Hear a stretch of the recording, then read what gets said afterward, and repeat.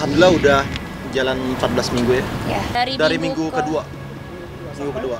Eh, Kita kan waktu itu umroh. Umroh. Oh iya iya iya benar. Umroh. Dulu makanya, nggak tahu. makanya kalau ditanya anak mana? Anak Madinah Mekah. Amin. Karena kan anak umroh. Karena udah capean tuh dari pas dua minggu awal tuh udah capek jalan-jalan yang biasanya aku excited. Ini yang sama ini sekali. maunya cepet pulang, maunya tidur terus, bangun kesiangan kayak gitu.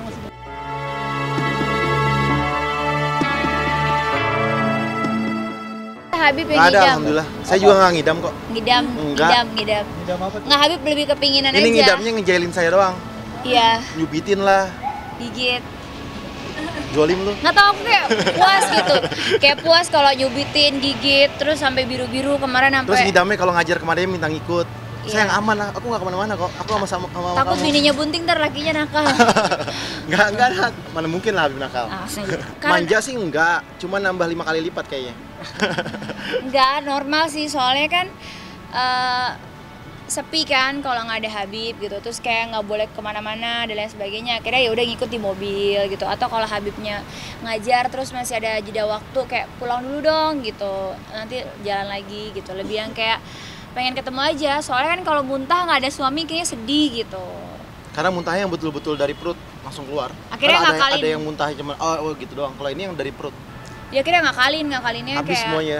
"Eh, Bib aku nggak mau makan ya gitu kalau nggak Habib yang suapin jadi kan mau nggak mau Habibnya pulang kalau hamil tuh ternyata gitu ya kita ya tahu kalau kita tuh jengkelin aku juga kadang sadar kok aku nyebelin ya kok aku keterlaluan manja ya nggak jengkelin, ngeselin.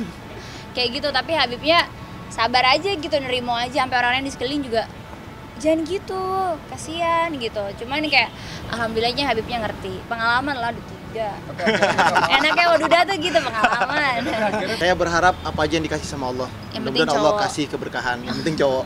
Oh enggak. yang penting Allah kasih kesehatan, anaknya sempurna, berkah dunia akhirat. Enggak, Habib jadi anak yang maunya cowok. Enggak. Bebas apa aja yang Allah kasih. Tapi kalau bisa cowok. cowok. Kalau bisa. Jadi jangan lupa untuk subscribe Cumi Cumi. Ditekan ya tombol lonceng merahnya.